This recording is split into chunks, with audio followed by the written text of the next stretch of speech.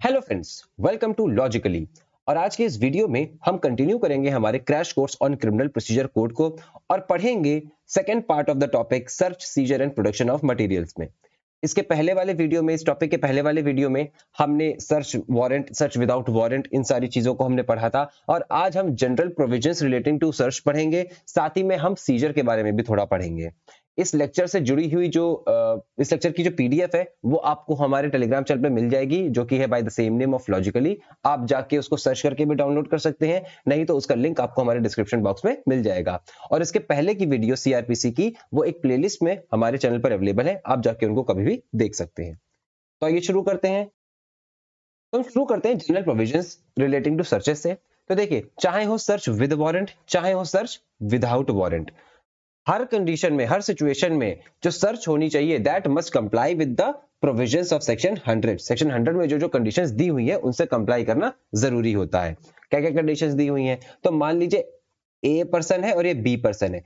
A person के यहाँ search हो रही है बी पर्सन सर्च कर, करने आया है। तो ए पर्सन की ड्यूटी बनती है कि इस बी पर्सन को सर्च करने के लिए पूरी छूट मिलनी चाहिए और उस प्लेस में एंट्री आराम से मिल जानी चाहिए। ठीक है तो he must allow and give free ingress to the person conducting the search इसके अलावा, अगर बी को फ्री इनग्रेस नहीं मिलता है तो ये ज़बरदस्ती भी कर सकता है। कैसे ज़बरदस्ती करेगा? कौन सा मैनर यूज़ करेगा ये? तो that manner is given under section 47 sub clause 2 47 sub clause 2 में जो मैनर प्रोवाइड किया गया है of obtaining an entry into a place जहाँ पे एंट्री अलाउ नहीं की जा रही है तो आप उस मैनर को यूज़ कर सकते हैं। कंडीशंस यहाँ पे भी लगेंगी, जो कंडीशंस पर्दा नशी वुमेन के लिए अवेलेबल है वहाँ पे तो मेंशनड है वहाँ पे। Third search will also be conducted of the person in और अबाउट सच प्लेस जहाँ सर्च हो रही है, वहाँ पे जो पर्सन मौजूद था, उस पर्सन का भी सर्च किया जा सकता है। अगर इस पर्सन को ये लगता है the person conducting the search को ये लगता है कि उस पर्सन ने अपने शरीर पे कोई चीज़ छुपा रखी है, चाहे वो लड़का हो, चाहे वो लड़की हो सर्च दोनों की हो सकती है। हाँ अगर फीमेल है तो उसकी जो सर्च है that will be conducted only by a female police officer and that too with strict regards to decency उसके अलावा दो इंडिपेंडेंट विटनेसेस का वहाँ होना बहुत ज़रूरी है। इंडिपेंडेंट विटनेस वो कौन होंगे? They must be respectable inhabitants of the locality अब वो सेम लोकेलिटी भी हो सकती है। सेम लोकेलिटी का इंसान ना ही मिले तो दूसरी लोकेलिटी के भी इंसान को बुलाया जा सकता है। अब यहाँ पे ये कंडीशन है कि जैसे मान लीजिए दो पर्सन को बुलाया तो गया है बाय द पुलिस ऑफिसर या फिर ऑफिसर कंडक्टिंग द सर्च जो भी है, उसने इन दो पर्सन को बुलाया है। अब ये जो दो पर्सन है, ये मना कर देते हैं आने से, ये नहीं आते हैं। तो they can be prosecuted under section 187 of the IPC उसके बाद केवल इनको बुला लेने से काम नहीं चलेगा।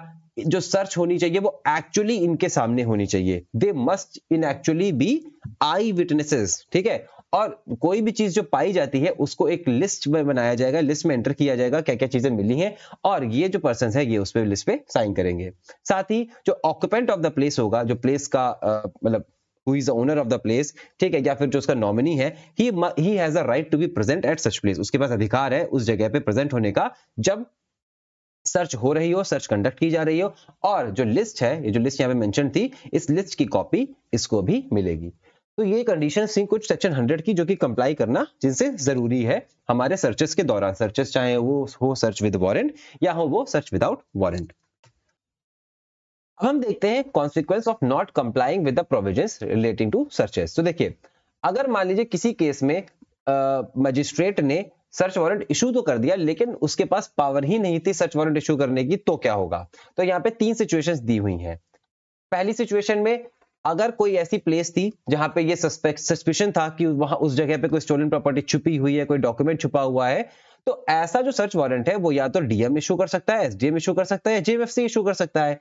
लेकिन अगर इनके अलावा भी कोई और मजिस्ट्रेट इशू कर देता है तो भी ऐसा नहीं है कि वो वारंट इनफेक्टिव हो जाएगा और उसमें कोई दिक्कत नहीं आएगी। वो एक जो डिफेक्ट है, वो क्यूरेबल डिफेक्ट है under section 460 of the CrPC इसके अलावा सेक्शन 93 सब क्लॉज 3 में ये दिया हुआ है कि केवल डीएम और सीजे हम ही इशू वारंट कर सकते को एक वारंट इशू कर सकता है जब कोई डॉक्यूमेंट या पार्सल या कोई और चीज़ पोस्टल या टेलीग्राफ अथॉरिटी की कस्टडी में होती है। तो यहाँ पे अगर डीएम और सीजेएम के अलावा कोई और इशू कर देता है सर्च वारंट तो ऐसा सर्च वारंट जो है वो इनफेक्टिव होगा सेक्शन फोर के तहत।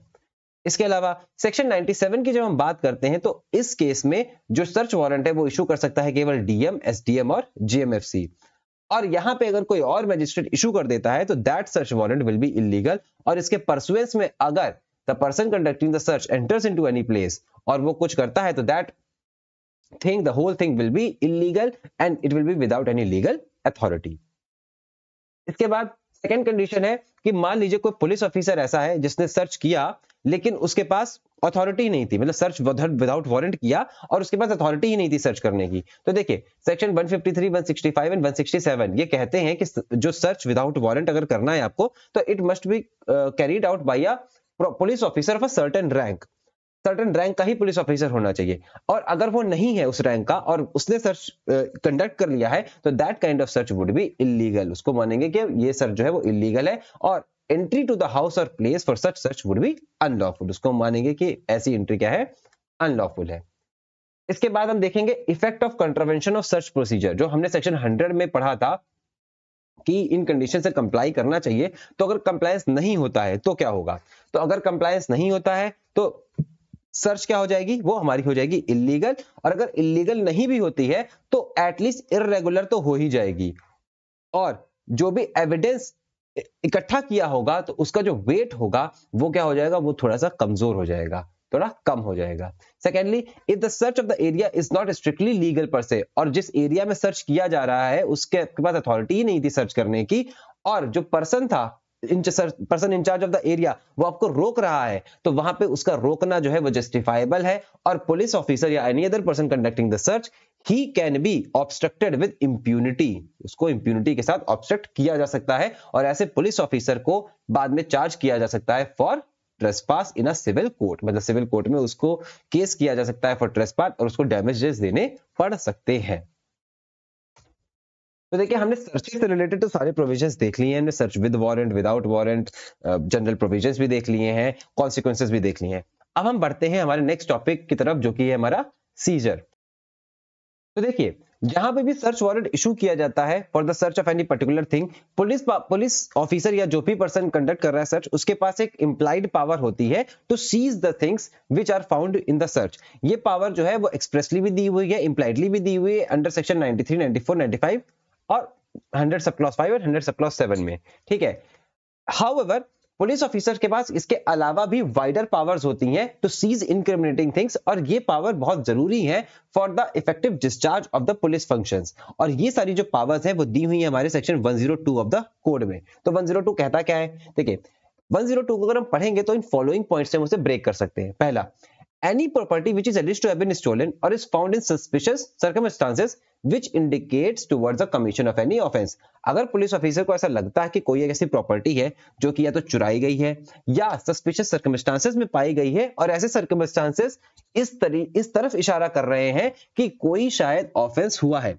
तो ऐसे समय में पुलिस ऑफिसर के पास पावर होती है कि वो ऐसी प्रॉपर्टी को सीज कर सके। और जैसे ही वो सीज करेगा और अगर जैसे वो सीज करेगा तो अगर in case he is subordinate police officer तो he shall report such seizure to that superior officer उसके अलावा जो पुलिस ऑफिसर है, वो जो सीज जिसने वो प्रॉपर्टी सीज की है, वो एक रिपोर्ट बनाएगा और रिपोर्ट भेज देगा मजिस्ट्रेट के पास who has that jurisdiction he will send that support of seizure to the magistrate having jurisdiction.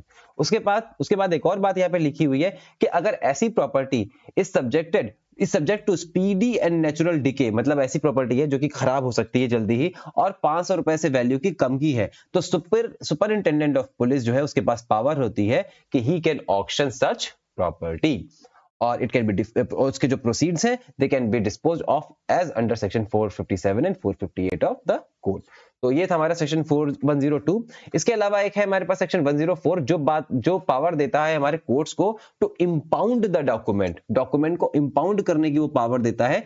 वो उस डॉक्यूमेंट को जो कि प्रोड्यूस किया गया है उसके सामने इस कोड के दौरान अंडर एनी प्रोसीडिंग्स तो हमने यहाँ पे सेक्शन 102 में सीजर भी देख लिया और 104 में हमने इंपाउंडिंग ऑफ़ डॉक्यूमेंट भी देख लिया। और इसी के साथ साथ आज का आपका ये टॉपिक कंप्लीट हो गया है सर्च सीजर वाला।